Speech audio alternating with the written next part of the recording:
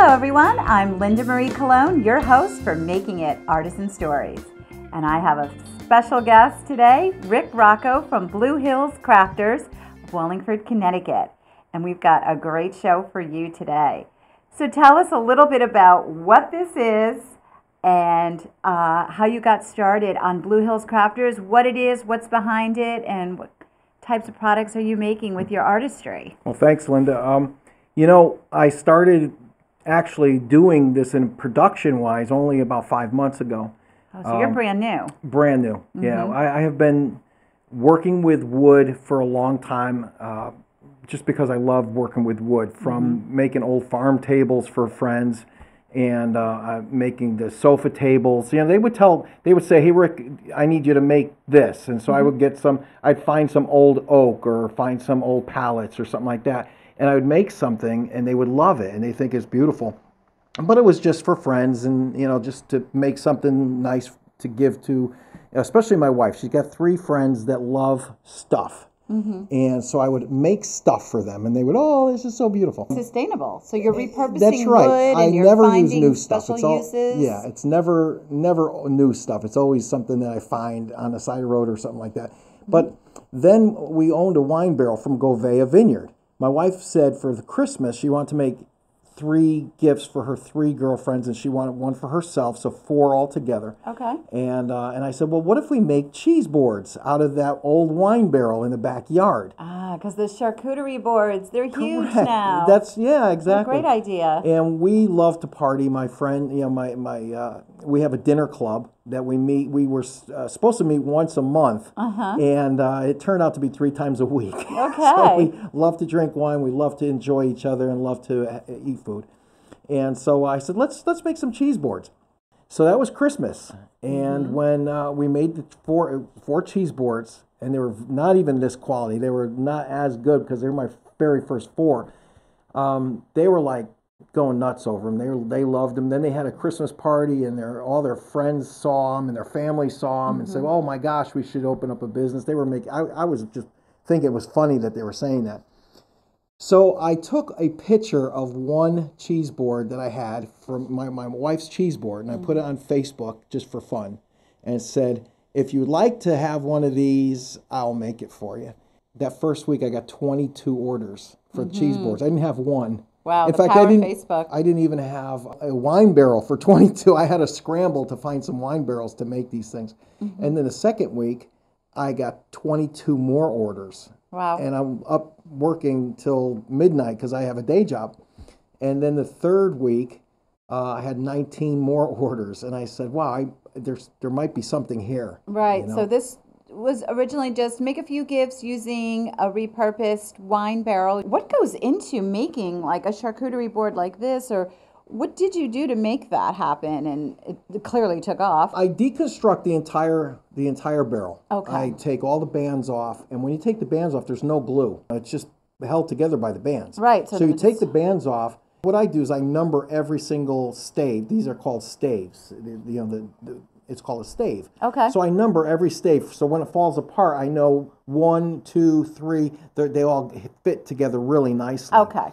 So one, once I do that, I actually put put them together, and I you know I kind of group them together, put them aside, and then I um, uh, I sand them all down, the backs, the, the tops, sand them down nicely, not the sides because the sides belong you know to each other. And you kind of want that rustic Yeah, look on the side. the top. This is not stained. This is the wine color of the barrel. Okay, so this is what the wine has done to the wood Correct. Yeah. and it's just And- absorbed it. And what I do is I put what's called biscuit joining. I biscuit join every single every single stave together, and I clamp them together, glue in between them, Okay. and uh, we'll leave them overnight. And then on the back, I actually started um, uh, cutting the steel bands and putting the steel bands back on the on the barrel, and then I made all the um, uh, all the legs on the bottom with oak as well. And then what I do is I put a food quality butcher block oil on the top, so it's food safe. Oh, okay. That's And- where the food safe Yeah, the bottom is is a shellac stain. Mm-hmm. I've just brought two pieces here. I mean, this this one here, this one is just glued. That's all it is, just glue. It doesn't have the biscuits in it. Try to pull it apart. Oh, it's sturdy. It's sturdy. Very sturdy. Very sturdy. Now this one actually has this the the uh, the biscuits in it. So imagine how much more sturdier Mm-hmm. this one is. That's just glue in between three uh, three pieces, and it's like rock hard. It, it's Mm-hmm. really amazing how how it's working. So So it's made very well, Very and well. you've taken from the charcuterie boards, you've expanded, and now what other things have you made? Because you've brought some amazing pieces here that look like more barrels, Mm-hmm. more sturdy pieces of furniture. this is the wine barrel table. I can get two tables out of one barrel. Actually, cut the centers out to get the center cut. That's why I call this a center cut Okay. because I'll cut the centers out first. I will mark four legs that I want to save, and then I have a table and I sand it all down. And I and I of course you have to prepare it for a table. You could stand on those things and they would they're like rock hard. Very sturdy. Yeah, they're really nice. Is that good for indoor, outdoor usage? Oh, um, yeah, it's good for both. As you see, it's got a deep table, right? Yes. So if it rains on it, you're going to have to empty it because Okay, it so will you have to hold. tip it, it's going to hold the water. Okay, Yeah, because it's it's okay. watertight. I had the barrels out there for years, and it, Didn't matter. I brought them in and I made a charcuterie board out of it. Wow. So, and then um, I have the uh, candle holder. yeah, those are like festive candle holders. Yeah, this one is a three candle holder. That's a wine. I'm starting to work with bourbon barrels now Okay. from Kentucky. This is a bourbon barrel candle holder. I, I'm a real estate agent, and as a real estate agent, we're always looking for a, a gift that's Mm-hmm. not too expensive to give to um, people that just bought their house or whatever. Right. What a great- It's a great idea. Um, I started giving these away Mm-hmm. for um,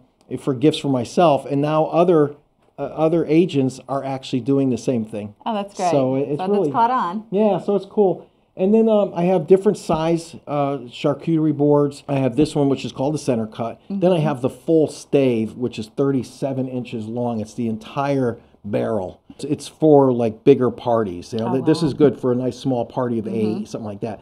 And then I have a little one. It's just it's just a half Oh, like of a smaller, mm-hmm. intimate yeah. board that you can have. And what is No. this? Yes. This is just for for today. This is actually a lazy Susan. oh, isn't that incredible? Yeah, it's a lazy Susan. It's it's the top of the barrel. Right. and um, and it's the it's actually the top band of the barrel that I had to I had to cut down to make it a little smaller so it fits around here. Okay. And then on the back is the actual uh, is the actual lazy Susan part of it. How long does something like that take? That one took me a couple hours. Mm-hmm. You know, uh, these things I'm batching them now, so I- I'll I'll make like 14 of them at a time. It'll take me two days to make 14 of them. Uh, it's a lot of uh, a lot of tedious work. That's the same same thing over and over and over for 14 of them. So I'll, I'll you know I'll take three barrels apart. I'll sand all three of the barrels. I'll and then I'll cut all the steel, and then I'll make all the legs, and mm-hmm. you know so it's, it's all you know tedious. Mm-hmm. But um when i'm doing like little piecework like this here the first one it was just so fun to make. And the, the tables i'll make two of them. If i dismantle three barrels then i got three of these i'll make six of them mm-hmm. and then right over there This. That one is commissioned uh, that one um Oh, so you do commission work. yeah oh okay. yeah So yeah you made them for fun originally as a gift. Then things kind of took off, and you will take commission orders. one of my fans actually on Facebook Mm-hmm. said, I, "I like your coat racks, but I want my own my own hooks." And I said, okay. Mm-hmm. "You- "You just give me the hooks, and I'll put your hooks on." So she sent. She actually bought those on uh, Etsy, Oh, okay. and she sent them to me. Uh, railroad ties, those big nails you see there. Mm-hmm. Yep, And uh, the rest is all you, huh? yep, that's exactly right. I'm commissioned to make some outdoor farm tables. Okay. Uh, I have is that the farm tables with the matching benches? Yes, I'm going to actually have to buy some cedar to make them because I want to have them out for outdoor use. Mm-hmm. I'm going to really distress the cedar to make it nice and old looking. Uh, what does that entail? it entails uh, taking some some chain and smashing these pieces of wood ah, so okay. it really has some It's uh, literally distressed. it has some pieces taken out of Yep, it. Yeah, some chunks taken um, out. And I I do a lot of different things to just beat it up a little bit. That and then when you stain it, what happens is I stain it and then I wipe it off. And when you wipe it off, the, the nooks and crannies, the, the stain actually stays darker in those spots. Right. So mm-hmm. it looks pretty cool. Oh, wow. And then I have a 10 foot indoor table that I'm uh, commissioned to make. I'm making that out of uh, 200 year old uh, oak.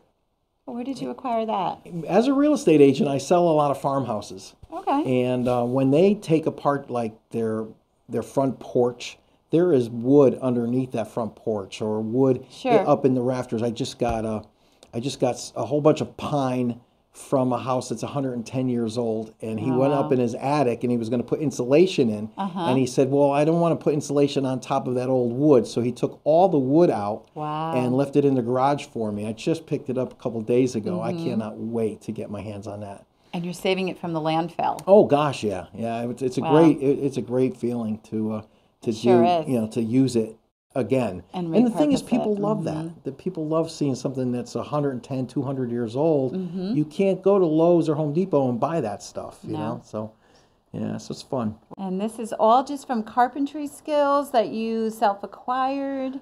My father is a is a developer. He he's built houses all his life. And I Okay. at 14 years old, I was driving bulldozers and and and dump trucks and trucks and stuff like that. He would give me a he would give me a chainsaw at 14. I'd have a mm-hmm. chainsaw, a chipper, a bulldozer, and a, and a dump truck. And he would point to a, a lot and say, Rick, that's your summer job. Wow. And I'd go out there with a chainsaw and cut all the trees down, chip them all up, and put the mm-hmm. put them in the dump truck. I didn't have a license, obviously, but then the one of his workers would drive the dump truck over to my house, dump the wood, and that wood was mine to sell in high school. really? yeah, so I sold firewood a- in high school. So I was always working hard. I mean, I, I love working hard. My father taught me a lot about wood, um, but nothing like this. And in fact, he, he looks at my stuff now and he says, Rick, I don't know where you got all this. Not from me. I don't know. I don't understand it. But you know, he's got a wood shop too, and Yeah. he, uh, you know, I think maybe it kind of rubbed off. Mm-hmm. But it's trial and error. It's all trial and error. So like this thing here. I mean, that's trial and error. I, I thought, oh, I, you know, everybody, I have all these tops. What am I going to do with them? I don't know what to do with them. And I said, well, what about a lazy Susan? And What a great that's, idea. That's how that came out. So let's see this lazy Susan. It's really functional, huh? It's very functional. It's so very little scraps. um, your projects. all the way down to I am trying my hardest. See, these would be scraps, right? Yes. What I'm doing now, if it didn't touch touch um, the um, the glue, I'm actually going to start cutting them up to sell for smokers. Mm-hmm. Because you know uh, people like the wood for smokers, right? Absolutely. And, I mean, and they use. Someone told me that if you use an oak with the wine, it might come, it might smoke right into the into the meat. it could be absorbed. Yeah. Yep. And if it's untreated, Uh, It's going to be untreated, totally Completely one safe. hundred percent untreated. Yeah. So I have a lot of those pieces, like like the ends and different things Sure. like that. That I'm like, gosh, I got like buckets and buckets of these ends. And I Oh, don't throw anything out. So um. I'm going to just chop it up into smaller pieces, put it in a little burlap bag, Mm-hmm. and say Blue Hills uh, fire chips or something. sure. You know. So entrepreneurial spirit. I wake up and and say, "Oh, I wonder if I could do this." Uh-huh. And I I'll tell you, I never get that feeling with any other business or or profession I've ever been into where I'm where I think of what else can I make. Mm-hmm. So rewarding. It is, yeah. Wow, that's It- it's incredible. a lot of fun. Well, thanks, Rick. Thanks Mm-hmm. for joining us, and thank you for watching. I'm Linda Marie Colon, your host for Making It Artisan Stories, and this is Rick Rocco.